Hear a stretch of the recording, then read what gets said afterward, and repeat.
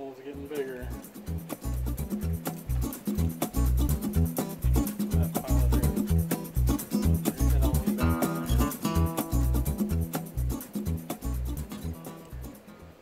Okay, well, Neela got tired of digging and gave up. And she got pretty dirty. Wore down her toenails some. But let's take a look at her hole. What do you think, Ita? Ita likes to dig holes too. I put her on her leash, she'll dig holes, little holes over here at the end of her, her mink run. Now look at Ita's holes that she's dug. She's dug holes like right there and right there, kind of at the end. But she'll even dig holes like right there in the yard around her mink run. There's her Buster Bunny. But let's take a look at Neela's big hole. I got a flashlight here. My handy Danny Stanley FatMax. Let's take a look. Ooh, boy. Now when I showed you this, her hole just barely, her head just barely fit in there. And holy cow, got a big hole in there. Wow, went back a long ways. How far did you go? Going sideways?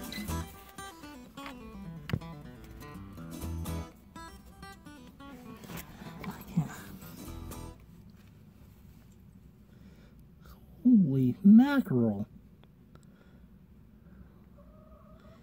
She went down there a long ways. Can't believe she got that far. Well, I can't just leave that hole like that. I gotta fill it in. So, I'm gonna need a shovel and a board to pack it in there. Sorry, Neela. I'm gonna fill in your hole. Well, I'm gonna go to shovel. I got a stick right there. I can pack it in so it's not just loose.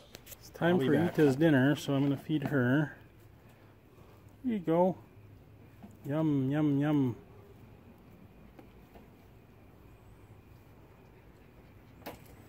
She likes her ground food, her ground up food, ground meat.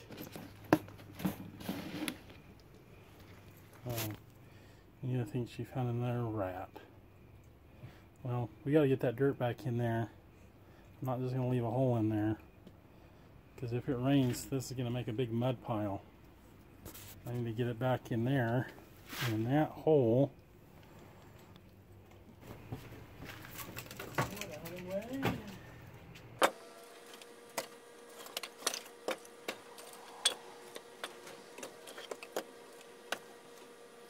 Well, dog, you can move a lot of dirt.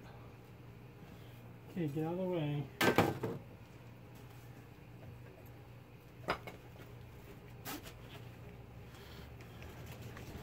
Look at all this dirt. That dirt was even with the bottom of those cinder blocks. She piled up that much dirt.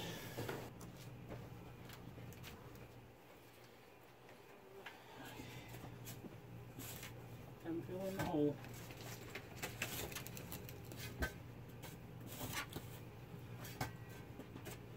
Sorry. Look out. I'm gonna have to pack it back in there. So this big stick here. Been saving this to make into a shovel handle. This is from the apple tree, I think. That'll be good. That hole. I think the hole that she was really after was actually a ground squirrel hole. It was really old because occasionally when we had a big rain, the water would puddle in here. Then a couple days later, we'd have water down in the basement. So I think that this is actually good I don't think it was a rat den. I think it was a, an old ground squirrel den from a long, long time ago. It was never properly filled in.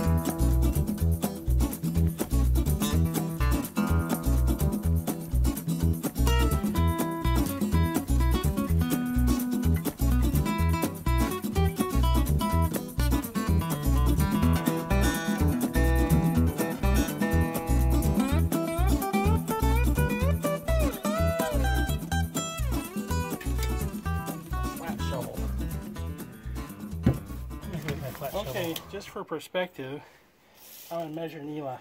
Come here, Neela. Come here. Let's see if I can get her to hold still. Okay, hold still. Hold still. From Neela's tail to her nose is only about 26 inches. She's not holding still. Yeah, from her nose to her tail, to end of her butt, is only about 24 inches. So that hole, she was fitting all the way in that hole. That's pretty good. She was getting back there.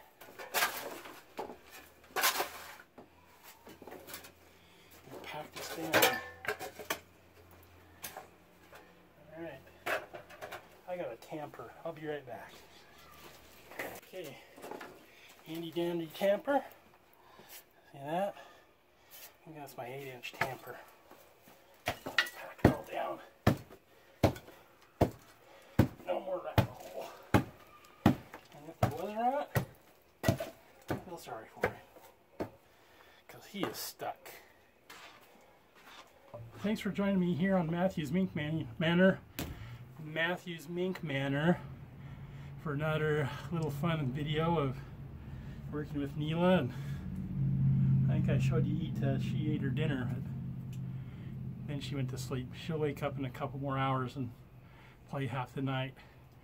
But uh, take a moment if you haven't already. Please like and subscribe and comment below, and uh, of these videos on Facebook with your friends and family. It's always kind of fun. See what's happening in the life of my dog Neela and my mink Ita. Bye. You think there's another rat down in there? You think we buried it? Well, let's put the tools away. Come on.